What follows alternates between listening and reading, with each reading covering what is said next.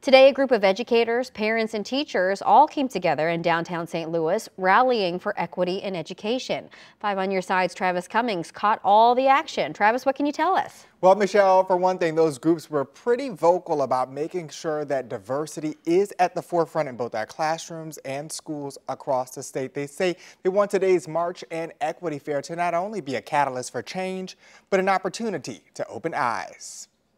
Let them learn! Let them learn! A message on the move. Equity! Students, parents, and teachers calling for equity in education. In a 21st century multicultural world, our students should be culturally aware of the world around them. Those groups gathered in downtown St. Louis in lieu of recent legislation seeking to place limits on how teachers can discuss topics like race and sex. The Sacks were there for their daughter's future. We want her to be exposed to a well rounded education with exposure to all different viewpoints and diversity. RJ Sack learning as a parent and a part time educator. The ability to hear ideas that I don't agree with or understand is ultimately a benefit.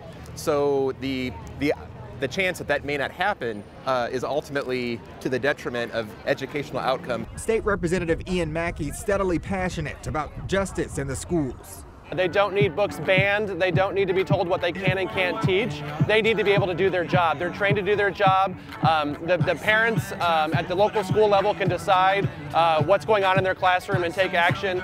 Critical race theory over civil discourse was key in Tommy Hogan's household. I think that more people should also be educated on the topic and do their research and learn more about this issue. Because they're the one getting the information. They're taking that information and translating it out into the world.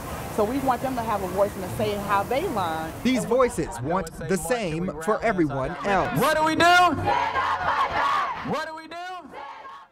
All right, so in-purpose educational services and the Missouri Equity Partnership, that was the people that were in charge of that event today. It follows other efforts like lobby days and other events to get that word out. Michelle? All right, a lot of people out today. Thanks so much, Travis.